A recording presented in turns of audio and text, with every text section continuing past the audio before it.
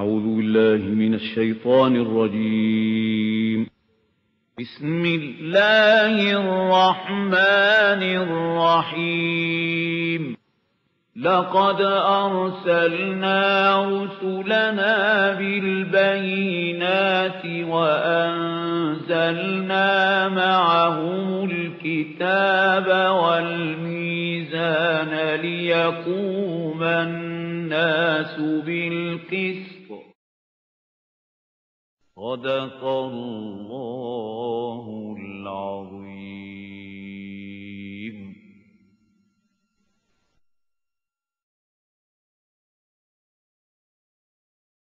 من الشيطان الرجيم. بسم الله الرحمن الرحيم. حاميم. والكتاب المبين. إنا جعلناه قرآنا عربيا لعلكم تعقلون. وإنه في أم الكتاب لدينا لعلي حكيم. وقال تبارك وتعالى كما ورد في سورة الواقعة إنه لقرآن كريم في كتاب مكنون لا يمسه إلا المطهرون تنزيل من رب العالمين. وقال عز وجل كما ورد في سورة القيامة ला तहरिक बही लिसान कलिताजल बिह। इन अलैना जमाहू व कुरआन फैजा कराना फतब कुरआन सुम इन अलैना बयान सदक अल्लाजीम रब शहली सदरी व यसरली अमरी वहलुलतमिलसानी यफ़ू कौली। अल्लाह रबना अलहमना रुशदना व इज़ना मिन Sharur अनफुसना। اللهم أرنا الحق حقا وارزقنا اتباعه وأرنا الباطل باطلا وارزقنا اجتنابه. اللهم وفقنا لما تحب وترضى. آمين يا رب العالمين.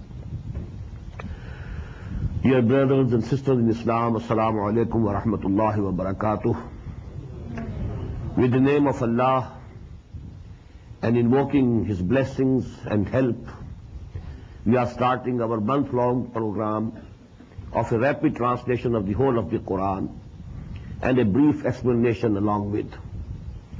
And this will go side by side with the prayer of Taraweeh, inshallah. As I told you a couple of days before in my Sunday lecture was this place, we shall be holding, inshallah, four sessions of one hour each every night. For today, the first hour I'm taking, I'll try in half an hour to finish with some introduction, some basic and fundamental facts and figures about Quran Hakim, and then about half an hour for Suratul Fatiha, and then in the second hour, inshallah, we shall start with Suratul Baqarah. About Quran, first of all, we all believe that Quran is the word of Allah. Al-Quranu Kalamullah. It's the speech of Allah, word of Allah, and it is protected and preserved. Its protection and preservation is guaranteed by Allah Himself. Number two, the real and original Quran is with Allah. What we have in our hands is, so to say, the attested copy of that real Quran. That real Quran is in Lawh Mahfuz. بل هو قرآن مجيد في لوح محفوظ. At another place, as I have recited the ayat from Surah Al-Waqiyah, في كتاب مكنون, the hidden book. This is Quran Kareem, and it is in दिडन book फ़ी किताब मकनून ला यमसूलमतरून and from there it was sent down to Muhammad सल्लाम so actually the real Quran is there that is why I have recited the first four आयात असूरत जखरुफ हामीम वल किताब मुबीन by this book which is very clear it is expressive of all its meanings Inna ja'alnahu Qur'anan Arabiyan la'allakum ta'qilun. And we have made it a Quran in Arabic language so that you can understand. And here actually the addressees are the Arabs, who were the first addressees of Quran. I'll discuss this point later on, inshallah. وَإِنَّهُ فِي أُمِّ الْكِتَابِ لَدَيْنَا لَعَلِيٌّ حَكِيمٌ And this Quran is in the mother of the books, Umm al-Kitab, the real mother book, Ladayna, it is with us. Allah Aliyul Hakim, and this book is exalted and full of wisdom. So the real Quran is with Allah subhanahu wa ta'ala. Fi lawhim mahfuz, fi kitabim maknoon, fi ummil kitab ladayna, and these are actually the attested copies of the Quran that is in Lawh Mahfuz. From there, it was sent down. And this coming down of the Quran was in two stages. Number one, in one night, round about the year 610 of the Christian era, one night of the month of Ramadan, that is Laylatul Qadr, the whole of the Quran, from the Lawh Mahfuz and from the Ummul Kitab, as I've told you, it was sent down to the first heaven. Actually, the lowest heaven from the divine side. But from our side, it's the first heaven. The whole of this Quran was sent in that night, Laylatul Qadr. Inna anzalnahu fi Laylatul Qadr. وما أدراك ما ليلة القدر ليلة القدر خير من ألف شهر تنزل الملائكة والروح فيها بإذن ربهم من كل أمر سلام هي حتى مطلع الفجر and this Laylatul Qadr was in the month of Ramadan. That is why we have just listened in the prayer also, in the first rakat of Surah of, of Salatul Isha, this شهر رمضان الذي أنزل فيه القرآن هدى للناس وبينات من الهدى والفرقان. For this first coming down of the Quran, the verb that is used in Quran is anzalna. Anzala yunzilu inzalan because this means one piece suddenly, sending down something, something at one time, one piece. So the whole of the Quran was sent down from that Lawh Mahfuz, from that Kitabum Maknoon, from that Ummil Kitab to the first heaven. Now that the second stage was that from there it was sent down to the heart of Muhammad sallallahu alayhi wasallam through Archangel Jibreel alayhi salatu wasalam. And it was bit by bit, ayah by ayah, surah by surah. And it took 22 long years in the complete revelation of the Quran to Muhammad sallallahu alayhi wasallam. And who was Muhammad sallallahu alayhi wasallam? We all believe he was the last prophet of Allah subhanahu wa ta'ala. But here I want to mention, he was from the progeny of Ibrahim alayhi salatu wasalam through Ismail alayhi salatu wasalam. And you know the, his tribe, Quraysh, that was, that belonged to the progeny of Ibrahim and Ismail alayhi salatu wasalam. And they were settled, you know, being Ummul Qura, that is Makkah al-Mukarramah. So there actually, that is the place where Muhammad sallallahu alaihi wasallam was born in the year 571 of Christian era. And when he was round about 40 years, this revelation started to him in Ghar Hira, in the cave of Hira and that was the year 610 as far as we can assess and we can know. Now during these 22 years of the revelation of Quran, for about 12 years Muhammad sallallahu alayhi wasallam stayed at Makkah. So the amount of Quran that was revealed during this period is called the Makki Quran, the surahs, Makki surahs, and it is round about two-thirds of the whole of the Quran. Then he migrated in the year 624, 622 to Medina Munawwara. And from thence till his death in 632, that is 10 years he stayed at Medina. But during these 10 years, he was making journeys for battles also. For you, you know, Battle of Badr. Then he had to go even to Tabuk, that is near the border of Syria. He had to go to different parts of the Arabian desert. So actually during this whole period of 10 years, the surahs and ayat of Quran which were revealed to him, sallallahu alayhi wasallam, they are called the Madani surahs. although all of them were not revealed at Medina properly. Some of them were revealed in different places where he was on journey. But you know, all that part of the Quran, which was revealed during 10 years after Hijrah, until his death, this is called the Madani Surahs or the Madani Quran. Now this division between Madani and Makki Surahs of Quran is clearly agreed upon. About most of the surahs, it is agreed upon whether it is Makki or Madani. But there are slight differences of opinion about a few surahs and then about a certain ayat also. There are examples that some ayat were revealed at Makkah, but they, were, they are included in the Madani surahs. Or some ayat were revealed at Medina, but they are included in the Makki surahs. But as I told you, by and large, it is agreed upon between all the Muslims and scholars that this is a Makki surah and this is a Madani surah. An example of an important exception is Suratul Hajj. According to some people, it is Makki. According to others, it is Madani. And as far as I have, have been able to understand, part of it is Madani, part of it is Makki.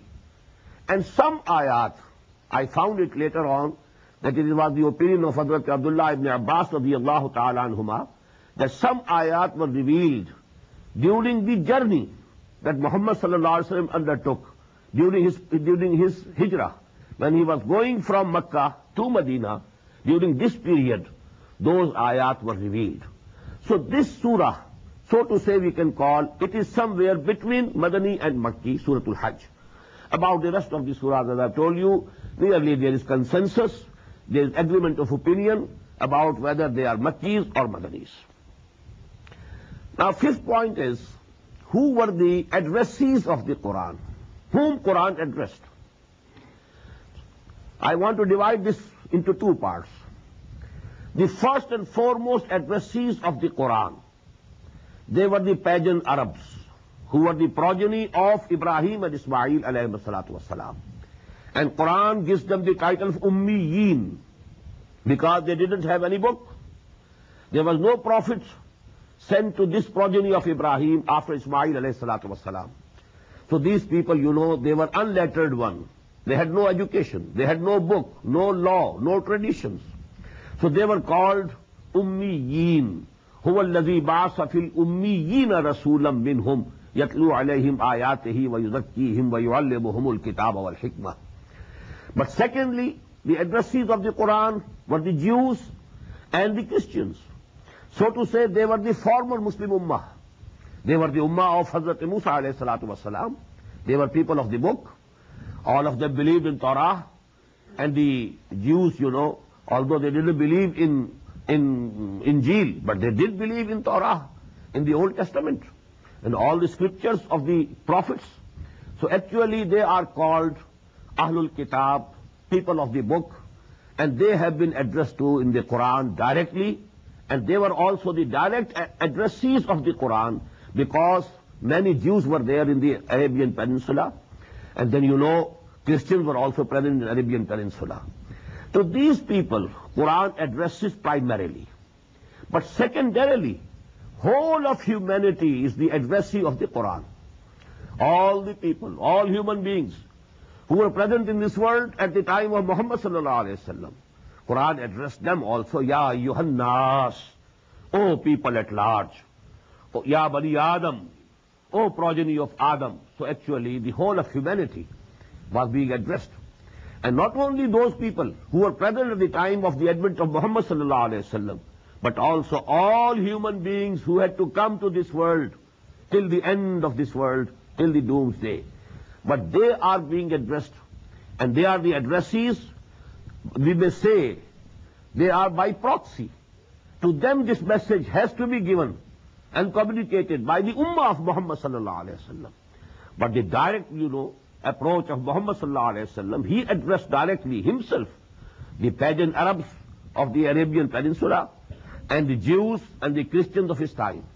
The rest of the humanity, actually this was, this, you know, mission was entrusted to the Ummah of the Muslim, uh, of Muhammad sallallahu alaihi wasallam, that now it's your duty to preach and convey and, con and communicate this message of Allah subhanahu wa ta'ala to each and every human being till the end of this world. Therefore, the most important point which I want to make is that when we ponder over Quran and we try to understand it, we should have two levels of understanding of each and every ayah. First of all, we have to keep the ayat or the surahs in the context, the historical context, when they were revealed, to whom they were revealed, who were the first addressees of the Quran, to whom Quran was talking primarily, what were, were their ideas, what were their beliefs, what were their customs, what were their rituals. Everything has to be in the context, geo-historical context. That we call, in the term of the exegesis of the Quran, ta'wilul khas, with the special, you know, perspective of the time when they were revealed. People who were being directly addressed. If we, we place the ayah or the surah in that context, and then we try to understand what was the meaning of this ayah or surah, which the people understood at that time, at that particular moment in history. And secondly, because this Quran is meant for the whole of humanity, for all times to come. It was not sent only for the Arabs. It was not sent only for the Christians or the Jews of the times of Muhammad sallallahu alaihi wasallam, but the whole humanity. So actually we have to understand the Quran secondarily in a generalized way. That is called the Tawilul Am. Look to the words, what they mean, and just don't keep them bound with the background, historical background. Take it away from that background. And as such, you think over them, ponder over them, dive deep into their meanings, and try to generally infer from it the total and the final and the eternal guidance that Allah subhanahu wa ta'ala has provided for the humanity at large. Now lastly, the sequence of Quran, Quranic surahs in the Musaf that we read and recite, and the sequence in which is what revealed, these two are absolutely different. The sequence of revelation and the sequence of the Mus'haf, the book that we have. These two sequences are absolutely different. And as we know, the Makki surahs, basic, basic principle is that they were revealed at Makkah. They were revealed earlier than the Madani surahs. But we find in the Quran, in Mus'haf, that the four Madani surahs, they are in the very beginning of the Mus'haf. Surah Al-Baqarah, Surah Al-Imran, Surah Al-Nisa, Surah Al-Ma'idah. Four longest Madani surahs are in the beginning of the Quran, although we know they were revealed after 12 years from the beginning of the Wahi. So the sequence of Mus'haf and sequence of revelation, they are different. Now we must understand how Quran was collected and how it was compiled. The collection and compilation of Quran, it was completed in three stages. First of all, the Quran was compiled in a sequence during the lifetime of Muhammad sallallahu alaihi wasallam through the guidance of, through the divine guidance of Hazrat Jibreel alayhi salatu wasalam. Whenever the ayat were revealed, the Prophet said to the people who were writing these ayat, there were certain people, certain companions, who were assigned the duty of writing them, katibin wahi, we call them, who, who used to write those ayat, that put these ayat after such and such ayat of this surah.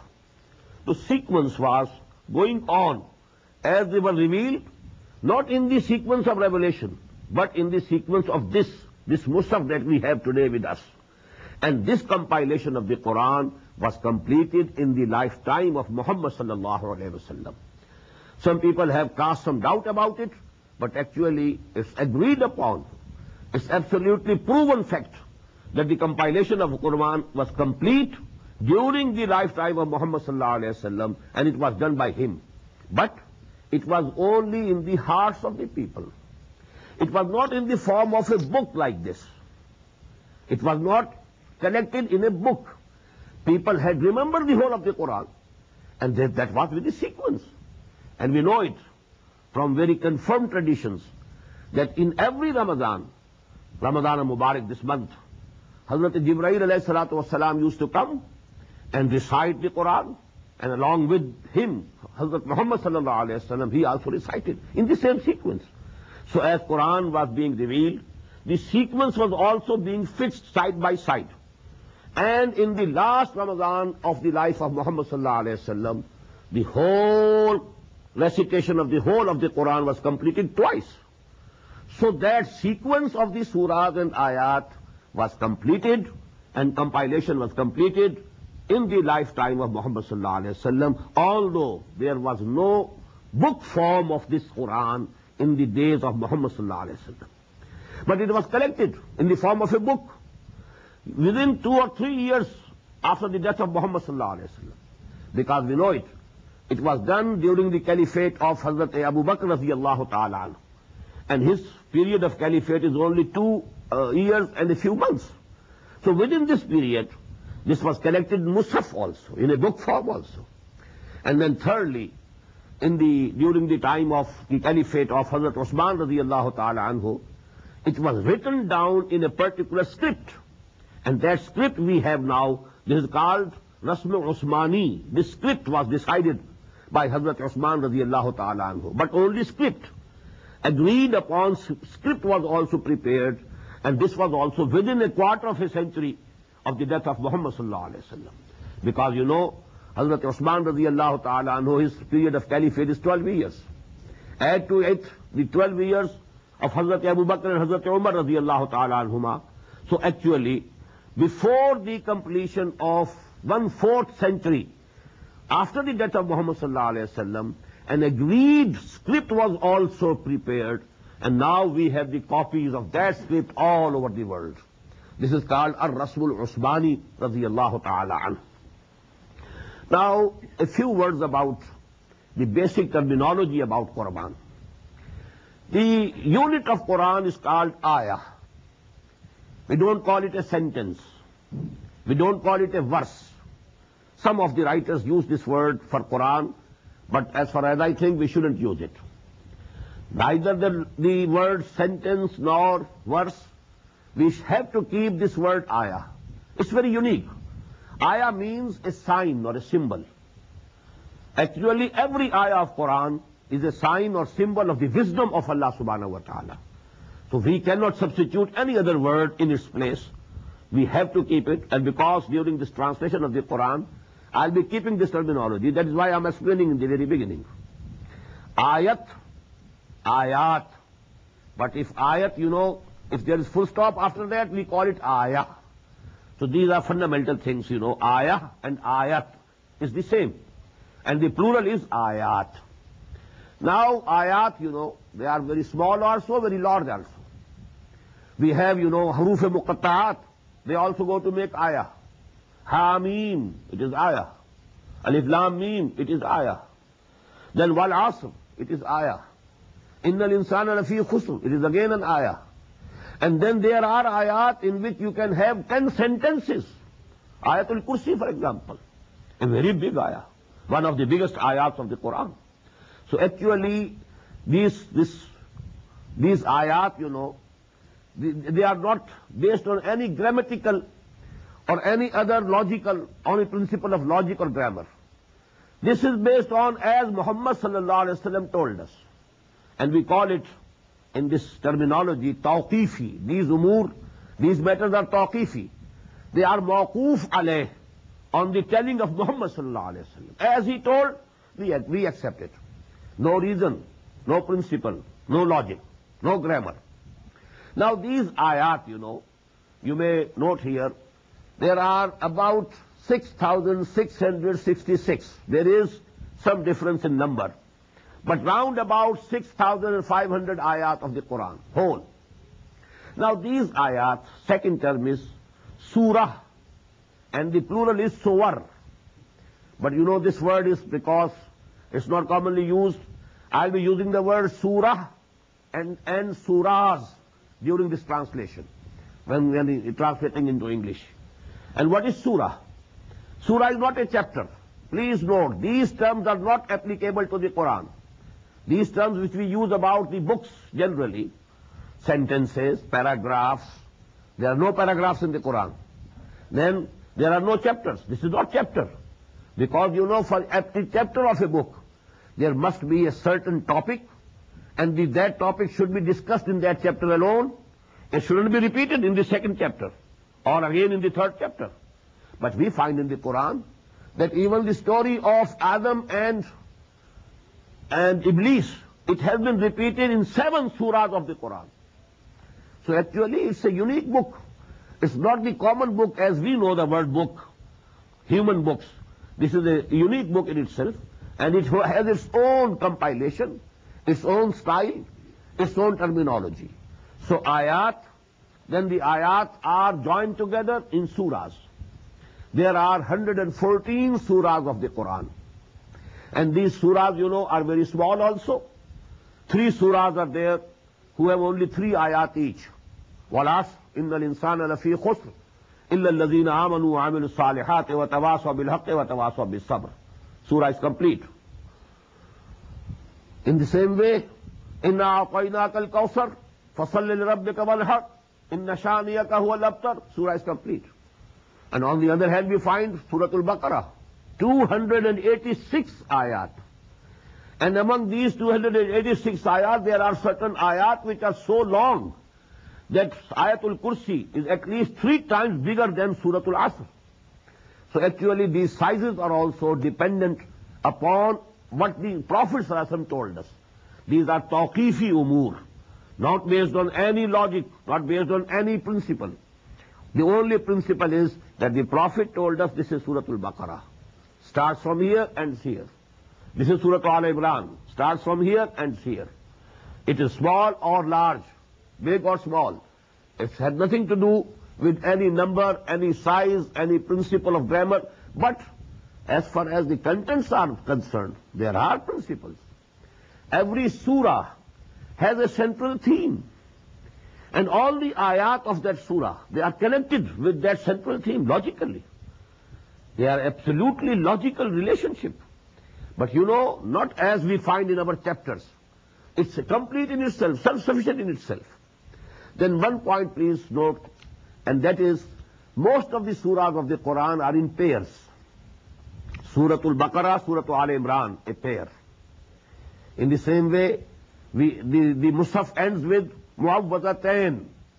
Qul a'udhu bi rabbil falaq, Qul a'udhu bi rabbil nas. Very similar to each other. That's a pair. In the same way, وَالضُّحَى وَاللَّيْلِ إِذَا سَجَى أَلَمْ نَشْرَحْ لَكَ صَدْرَكَ The same thing being discussed in both the surahs. Addressing Muhammad sallallahu alaihi wasallam personally. It's a pair. Very apparently a pair. In the same way, يا أيها المزمل يا أيها المدثر يا أيها المزمل قم الليل إلا قليلا يا أيها المدثر قم فأنذر It is again a pair. So most of the surahs of the Quran are in pairs. Although there are surahs which are not in pairs. They are unique. They are munfarid. And most of such surahs are very important. But actually this, we shall be referring to these things during our translation. That is why I want to acquaint, acquaint you with this basic terminology. Now these surahs, the big surahs have been divided into rukus. This division was not present at the time of the Prophet or during the days of the Sahaba. It was done later on during the Umayyad period and by a person which is not liked by many and that is Hajjaj ibn Yusuf. He is the person who divided Quran, the bigger surahs of the Quran into rukus. Why? Because you know you can't recite the whole of Surah Al-Baqarah in one rakat, in the prayer. So there must be portions. So can you can recite them in your prayers.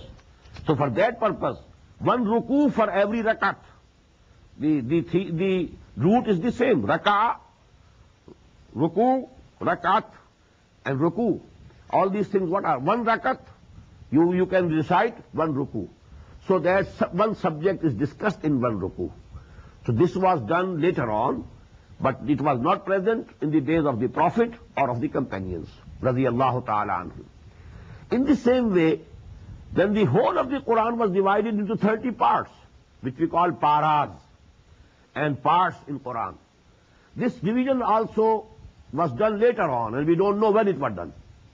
But it definitely was not present in the days of the Prophet or of the companions. This was to facilitate the Muslims so that every Muslim can read and recite one para, one part of the Quran every day, so that each month he completes one recitation of the whole of the Quran. But these two words, these two terms, rukus and paras or parts, they were introduced later on. They were not present during the days of the Prophet ﷺ or of the companions, radiallahu ta'ala majma'een. But then, you know, another word which we find in ahadith, that is hizb. The surahs of the Quran, they were grouped in such a way that Quran was divided or divisible into seven nearly equal parts, not exactly equal. Some hizb is more than five paras. First, first hizb is more, more than five paras. Some is less. Because you know, if you divide 30 parts into, and you divide into seven, you know, so what will come? About four and a half in each. But we have somewhere it is four and a quarter, somewhere it is about four, somewhere it is more than five as I've told you.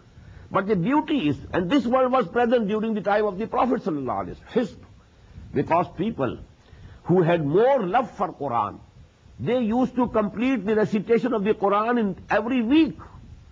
So they had to divide Quran in seven parts so that they can complete the recitation of the Quran in one week, seven days. So we find the beauty is that the surahs are complete. They are not broken in this division into ahzab or manzil as we call it in, in Urdu generally, manzil. And the ahzab, this is the Arabic word mostly used. We have three surahs in the first. If you leave alone Surah Al-Fatiha, which is the preface of the whole of the Quran, then three surahs. Surah Al-Baqarah, Surah Al-Imran, Surah Al-Nisa, one manzil, one hizb.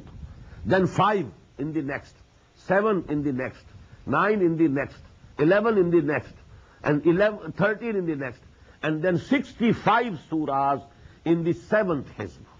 That is also a multiple of 13. 13 into 5 makes 65.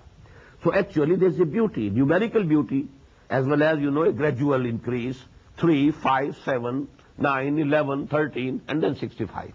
So this was also present, this division of the Quran into seven ahzab, or seven manazil, during the days of the Prophet ﷺ. Lastly, there is another grouping of these surahs. And incidentally, this is also in seven groups.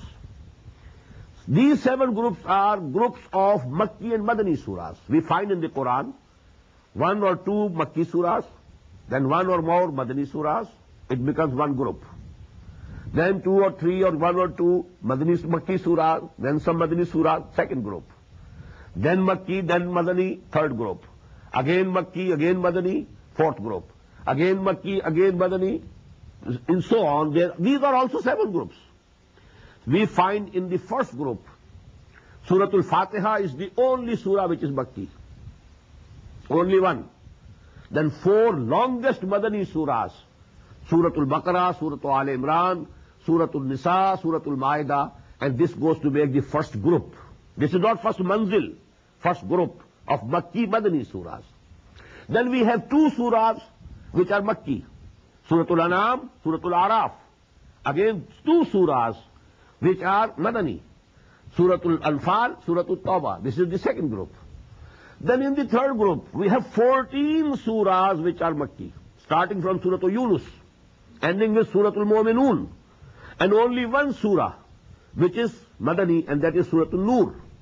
Then eight surahs which are Makki, again one surah which is Madani, Surah Al-Ahzab so on. Then again 13 surahs which are Makki, and then three surahs, Surah Muhammad sallallahu alayhi wasallam, Surah Al-Fath, Surah Al-Hujurat, these are the Madani surahs.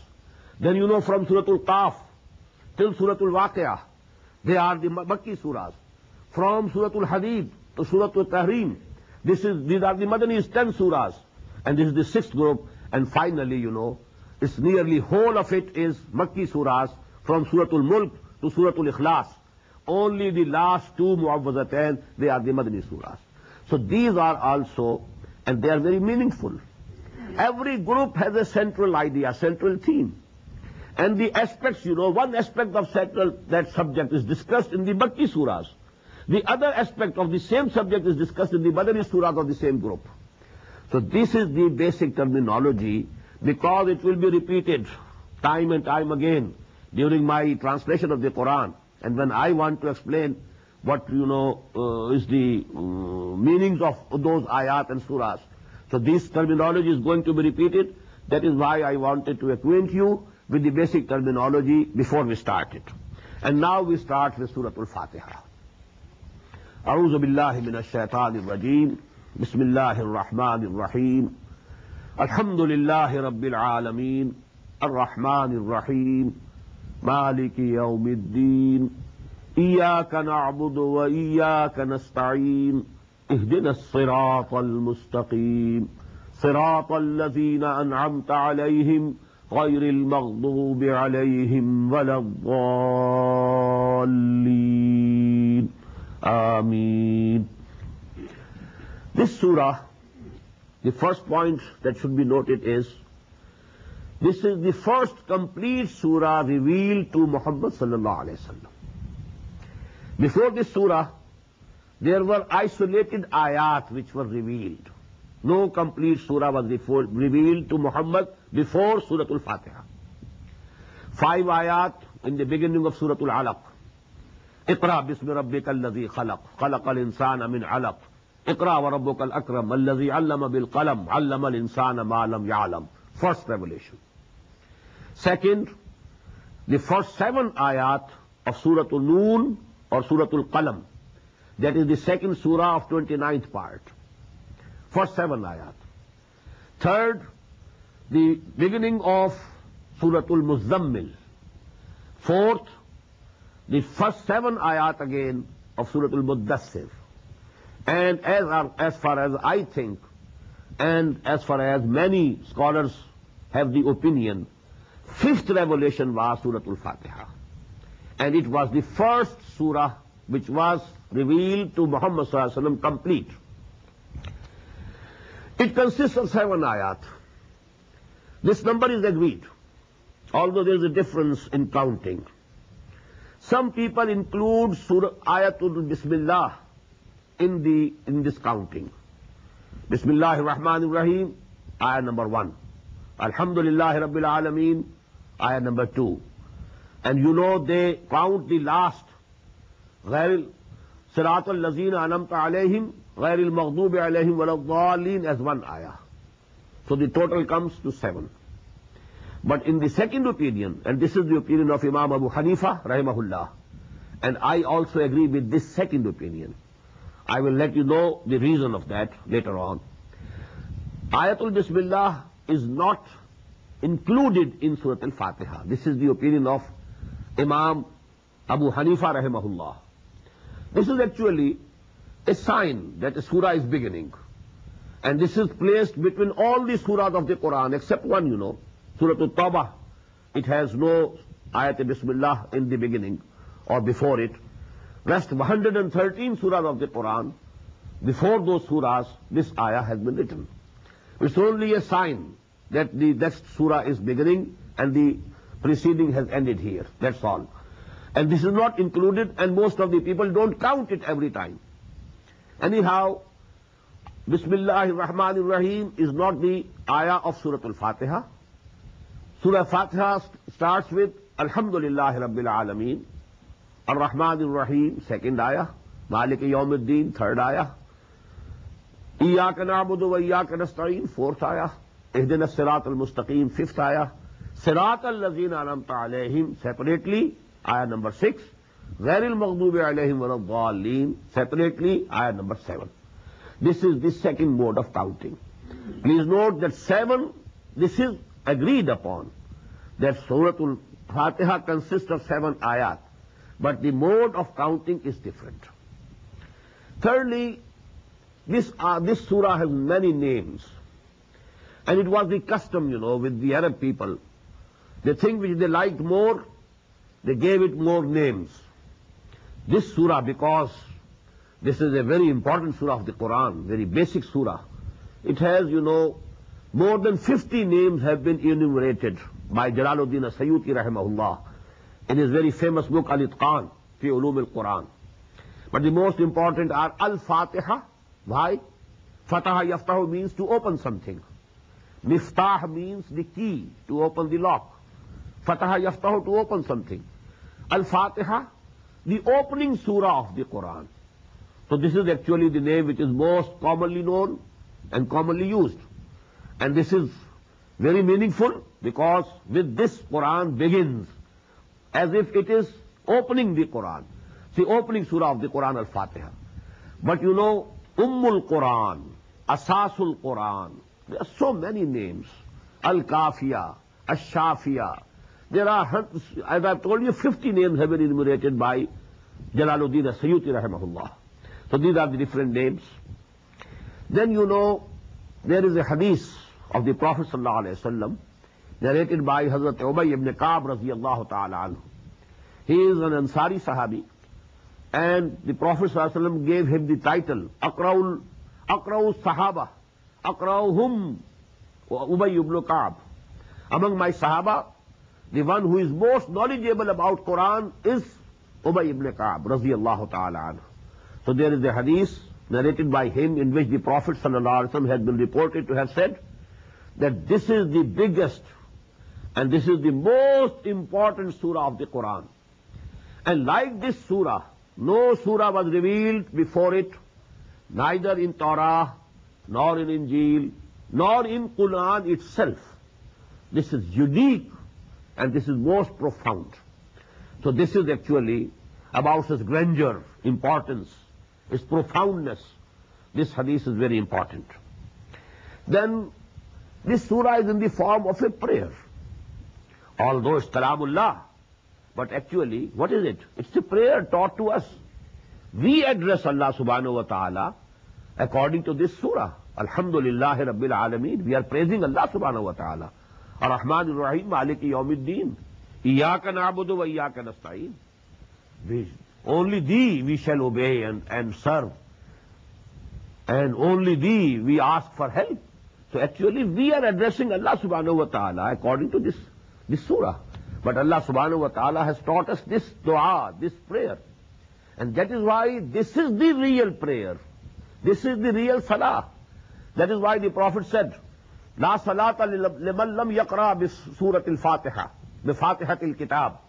Whosoever doesn't recite this Surah Al-Fatiha in his prayer, he has no prayers at all. He has not prayed at all.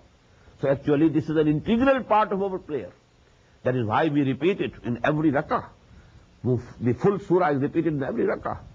So actually, what is the style of this surah? Allah subhanahu wa ta'ala in this surah has actually represented the position of a human being whose nature is non-polluted, unpolluted, unperverted, and who has the faculty of right thinking. He can reach by his own thinking and ponderance and meditation, he can reach the conclusion that there is a creator of this universe. And he is Rahman and Rahim.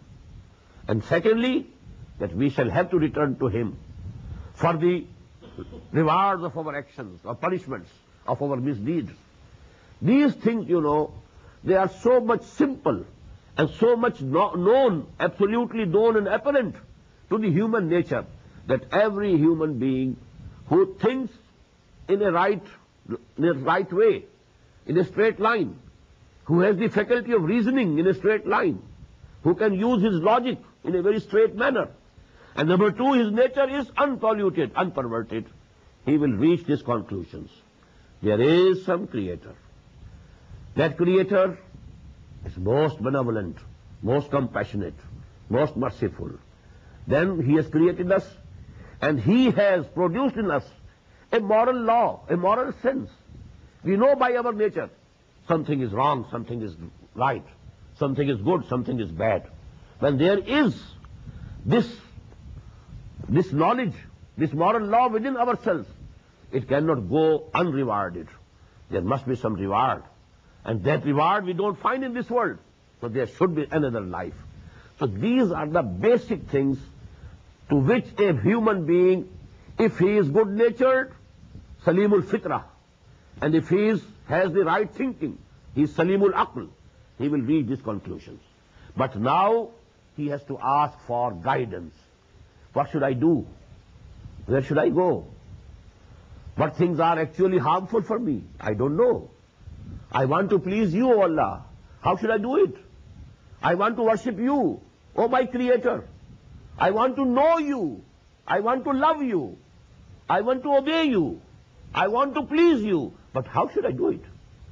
That is actually the, you, you know, this is the call of the nature. And this call of the nature has been given these wordings by Allah subhanahu wa ta'ala and they have been given to us in the form of Surah Al-Fatiha. Just as we shall find, inshallah, today, in the fourth section of Surah Al-Baqarah, that when Hazrat Adam wasalam committed a sin, he disobeyed Allah subhanahu wa ta'ala, he ate the fruit of the forbidden tree, then there was in within him a sense of guilt. He wanted to apologize. He wanted to repent. He wanted to ask Allah for his forgiveness. But he didn't have the words. With which what words uh, should I ask the forgiveness of Allah subhanahu wa ta'ala? And we find in that, that section, فَتَلَقَّى آدَمُ مِنْ رَبِّهِ كَلِمَاتٍ فَتَابَ عَلَيْهِ When Allah subhanahu wa ta'ala found in him that he is now feeling guilty, he is now sorrowful, he is now sorry why I committed this mistake, he wants to, to apologize to me, he wants to ask my forgiveness. Then Allah subhanahu wa ta'ala taught him the words. فَتَلَقَّى آدَمُ مِنْ رَبِّهِ كَلِمَاتٍ فَتَابَ عَلَيْهِ ربنا ظلمنا أنفسنا وإن لم تغفر لنا وترحمنا لنكونن من الخاسرين In the same way, if we imagine a person who is right-minded, who is right-natured, good-natured person, who wants to lead a simple and right life, but he wants to know what to do and what not to do. He wants to have the guidance. Now, the, actually, his ihsasat, his feelings have been given these wordings by Allah subhanahu wa ta'ala. Alhamdulillah Rabbil Alameen, Ar-Rahman Ar-Rahim, Malik Yawmiddin, Iyaka na'budu wa Iyaka nasta'in, Ihdina Sirat al-Mustaqim, Sirat al-Lazina anamta alayhim, Ghayri al-Maghdub alayhim wa al-Dhalin. So these are the wordings from Allah subhanahu wa ta'ala but the feelings of a man, a good-natured man, who wants to have the guidance. So that is actually the style of this Surah Fatiha.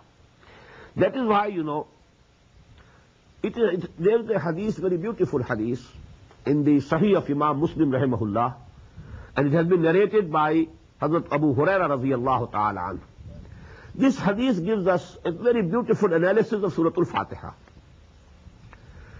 Allah subhanahu wa ta'ala has been reported to have said, قَسَمْتُ الصَّلَاةَ بَيْنِي وَبَيْنَ عَبْدِي نِصْفَيْنِ I have divided the prayer, that is Surah Al-Fatiha, between myself and my bondsman in two halves.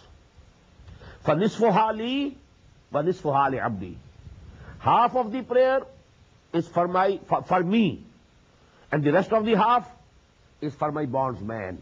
وَلِعَبْدِي مَا سَأَلْ And I grant for my bondsman what he has asked me. And then there is the detailed, you know, description. When a, when a person says, إِذَا قَالَ الْعَبْدُ الْحَمْدُ لِلَّهِ رَبِّ الْعَالَمِينَ يَقُولُ اللَّهُ تَعَالَى حَمِدَنِي عَبْدِي And you know, we say, but if we say it from the depths of our hearts, not only repeating the words only, you know, parrot-like, but the actual, our feelings, when we say Alhamdulillah Rabbil Alameen, simultaneously Allah says, Habedani Abdi, my bondsman has praised me. وَإِذَا قَالَ الْعَبْدُ And when the bondsman says, Ar-Rahman Ar-Rahim, Ar-Rahman Ar-Rahim, Allah says, يقول الله تعالى, Isna alayya abdi, my, my bondsman has spoken high of me. Then when the abd says, when the bondsman says, Malik Yawmiddin, Yaqulullah Ta'ala, Majjadani Abdi, Allah says, my bondsman has glorified me. Now these three ayat are absolutely for Allah subhanahu wa ta'ala. in the praise of Allah. Alhamdulillah Rabbil Alameen. All praise be for Allah, who is the master and the creator and the sustainer of all the worlds. Ar-Rahman Ar-Rahim. He is benevolent, compassionate, merciful. Malik Yawmiddin. And he is the sole authority on the day of judgment, on the day of reward. He is the sole authority. He is the master of the day of judgment. Now this is actually three, three ayat. They are all for Allah subhanahu wa ta'ala. Praising Allah. Now the fourth ayah. This is actually a bond, a covenant between Allah and the bondsman. Iyaka na'budu wa iyaka nasta'een. That is why you see these three ayat, first three ayat, according to the Arabic grammar, they go to make one sentence. Alhamdulillah Rabbil Alameen Ar-Rahman Ar-Rahim Maliki Yawmiddin. Actually, this is one sentence.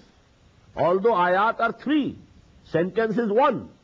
But in the fourth ayah, Iyaka na'bud, it's a complete sentence.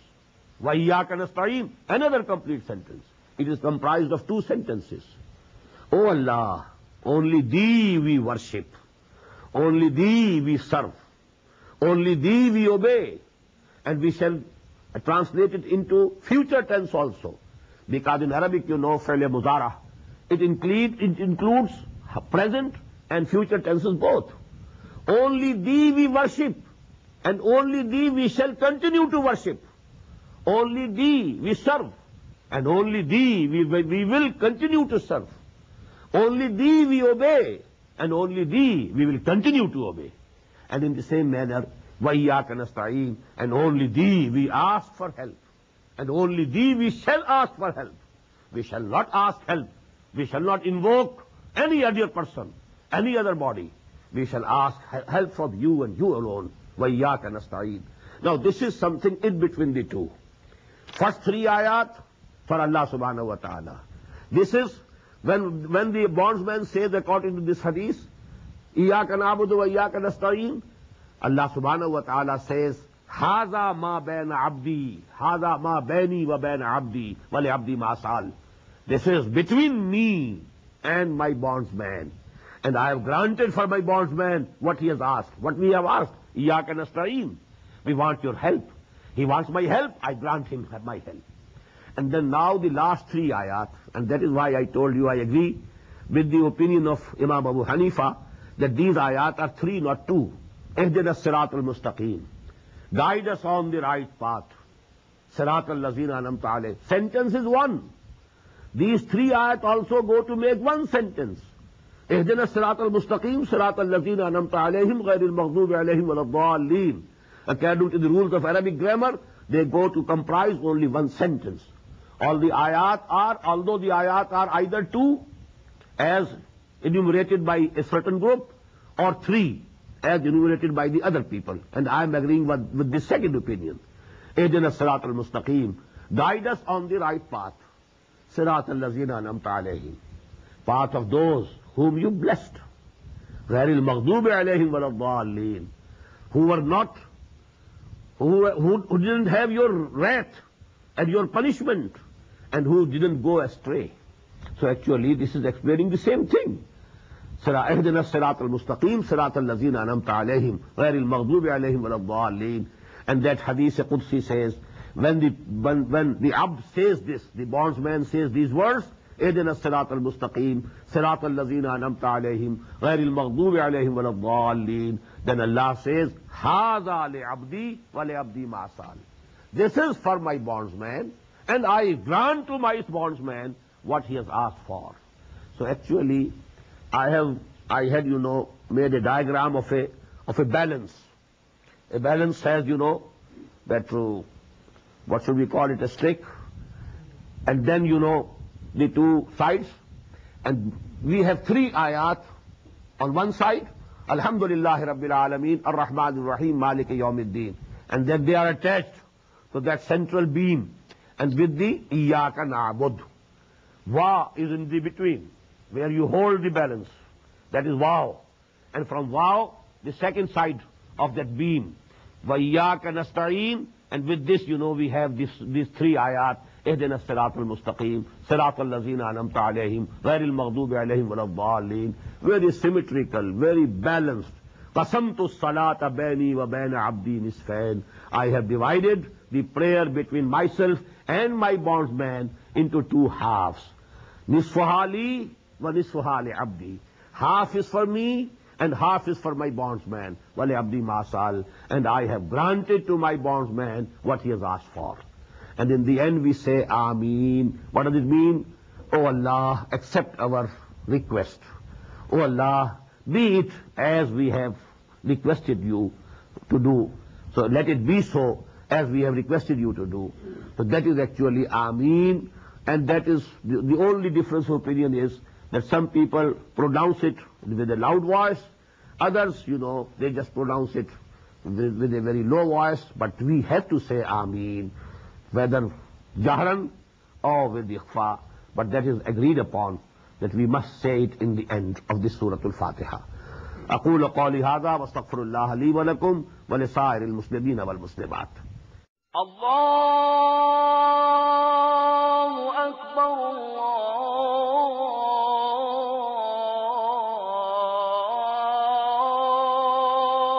أكبر The Islamic Organization of North America, IONA, is an organization dedicated to reviving the Quran into the hearts of Muslims while bringing its message to non-Muslims. The obligations of a Muslim as ordained by the Quran and Sunnah can be understood as having four levels. 1. A Muslim is required to develop real faith and conviction, iman, in one's heart. 2. A Muslim is required to live a life of complete submission to the will of Allah subhanahu wa ta'ala. 3. A Muslim is required to propagate and disseminate the message of Islam to humanity as a whole.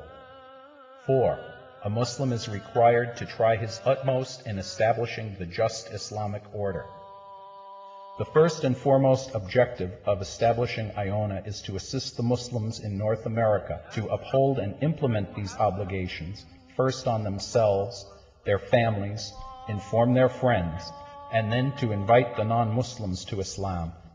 The ultimate goal is to seek Allah's pleasure and salvation in the hereafter. For more information about Iona, please visit us at www.tanzeem.us. You may also email us at info at t-a-n-z-e-e-m dot u-s or call our toll-free number 866-779-iona. Join us. Together we can make a difference.